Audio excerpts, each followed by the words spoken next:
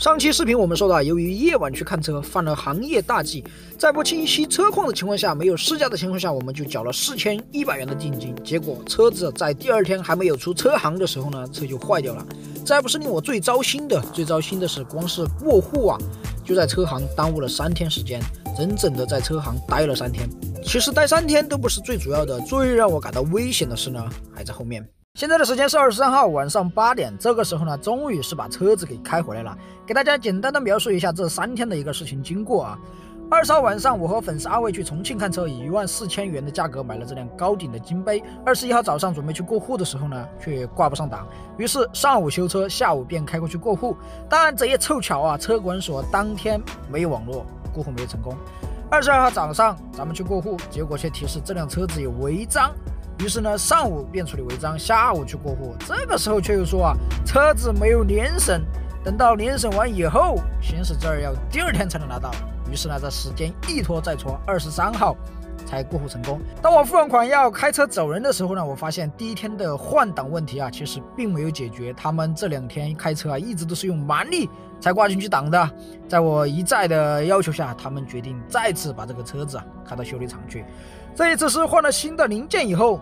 我才勉强能开走，可能是上天眷顾我这个买车小白呀。当我开着这辆车以一百二十迈的速度在高速路上行驶的时候，行驶了八十公里下高速的时候呢，这个时候出现状况了，车子的刹车分帮大螺丝啊，直接给干掉了。这个螺丝要是在高速路上跑的时候一百二十迈，那刹车直接爆死，情况得多严重啊！真的是不幸中的万幸，只能说是阿彪命大。那这辆车开回来以后，哪些地方是需要维修的呢？首先就是这个钢板的胶套，上下上下都需要更换。就这几个胶套嘛，全部损老化了，里面已经没有铰链了。还有这个减震，两边的减震胶套也是同样的。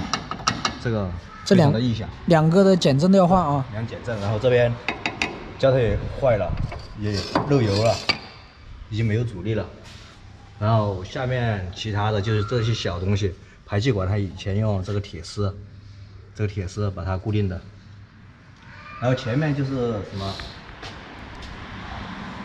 方向的球头这里，球头这里磨损的比较严重。啊，然后就平衡杆。这里。这两根，其他的问题不大，胶套什么的都小问题，这都小问题了。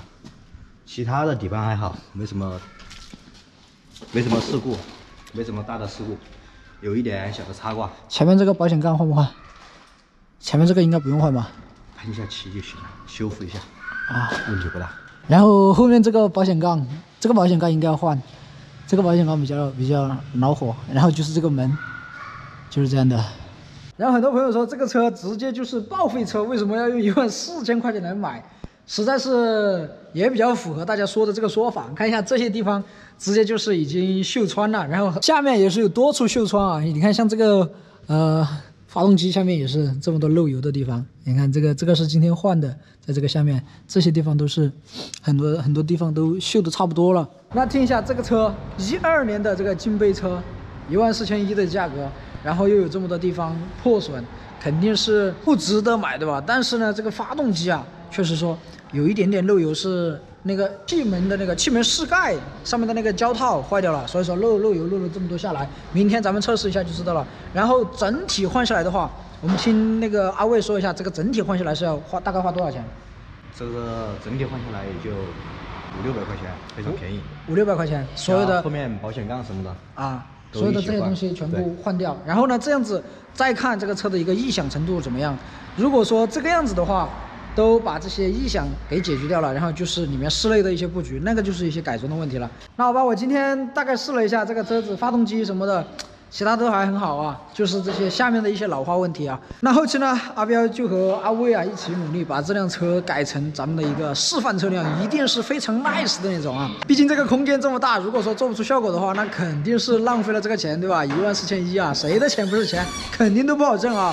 好，那今天呢，咱们大概也是就这样分享一下后期的这个车修理、改装以及加装所有的东西啊，咱们都会通过视频给大家分享。那么今天呢，也就分享到这个地方了。喜欢的朋友呢，点点关注啊，我是阿彪，咱们下期再见吧。Bye bye.